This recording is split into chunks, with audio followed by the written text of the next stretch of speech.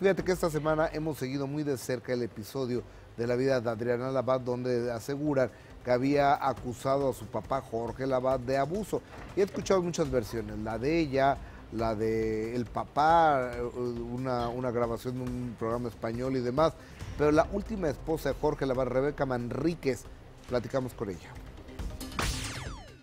Siguen destapándose muchas cosas sobre Adriana Labat, quien en el programa sabatino de Gustavo Adolfo Infante, El Minuto que cambió mi destino, reconociera que la exesposa de su padre, la actriz Rebeca Manríquez, fue pieza clave para acercarse a él antes de morir.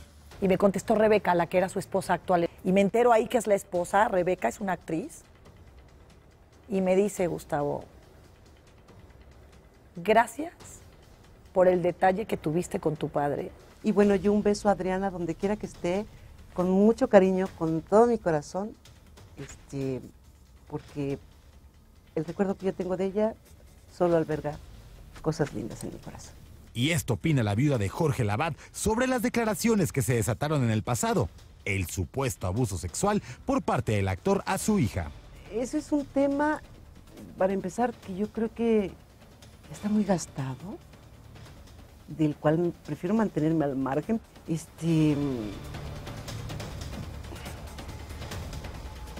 no sé, creo que yo era niña cuando, cuando ese tema, ¿no? Es, se quedó aclarado en, un en ese entonces. Pero, ¿habrán padre e hija solucionado este terrible malentendido antes de la muerte del actor?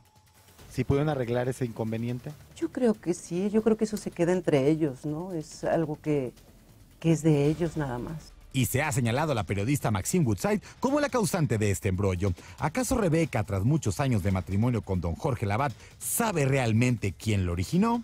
No, no mentiría. Es algo que sucedió muchos años antes de que yo estuviera con Jorge. No, no, no, no, no, no, tengo nada de qué decir de algo que no sé, que desconozco. Hoy la señora Rebeca Manríquez Poncio Pilatos, me lavo las manos, ahí se va. acabó. Ya se murió, yo no quiero broncas, pero hablo bien, hablo bien de Adriana.